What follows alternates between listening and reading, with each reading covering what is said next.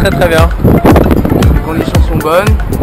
La vitesse du nouveau bateau euh, va être plutôt bonne aussi, je pense. On espère que ça va être bien. Voilà, il est prêt à aller vite.